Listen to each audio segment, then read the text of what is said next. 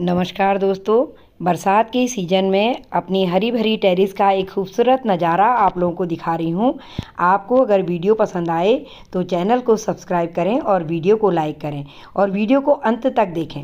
Kitchen waste से compost बनाकर मैंने अपनी ये पौधे ग्रो किए हैं। मेरी YouTube चैनल में आपका स्वागत है। बरसात के सीज़न में एक छोटा सा नज़ारा अपनी टेरिस का आपको दिखा रही हूँ।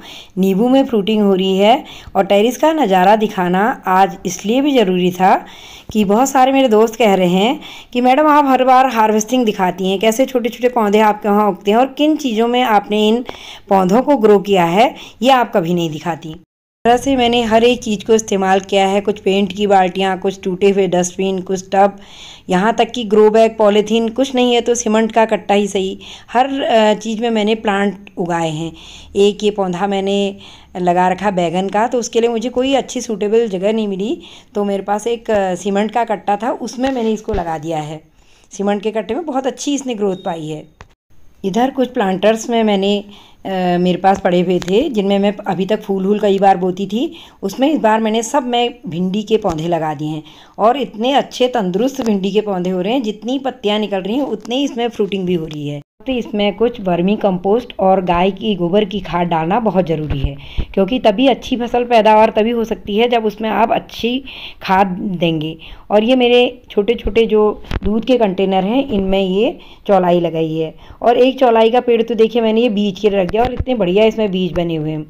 किसी भी छोटी बड़ी चीज़ के लिए मुझे दौड़ लगा के दुकान नहीं जाना पड़ता, क्योंकि कड़ी पत्ता, धनिया, पुदीना, हरी मिर्च और ये सब चीज़ें ही मेरे घर में हो जाती हैं।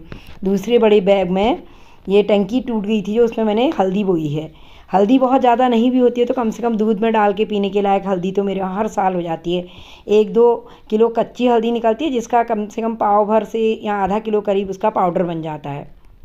दो तीन कंटेनर्स में मैंने पुदीना लगाया है। अगर पुदीना ज़्यादा हो जाता है, ज़रूरत से ज़्यादा तो सुखा देती हूँ।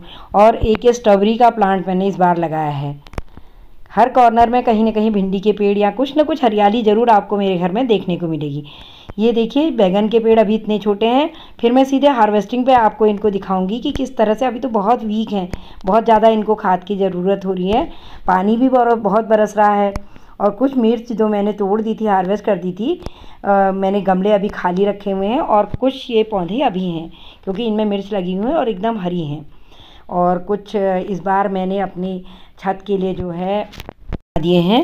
तो स्टैंड के ऊपर ये जो है सो सो फ्लावर सो प्लांट वगैरह लगे हैं बहुत ही सुंदर लग रहे हैं। ये मेरी सेकेंड फ्लोर की छत है जिसमें सारे सो प्लांट ही अधिकतर। वेजिटेबल वाले प्लांट सब मैंने ऊपर रखे हुए हैं। तो ये मेरी खूबसूरत छत का नज़ारा है। फिर किसी अगली वीडियो में मिलते हैं। तब तक के लिए नमस्कार।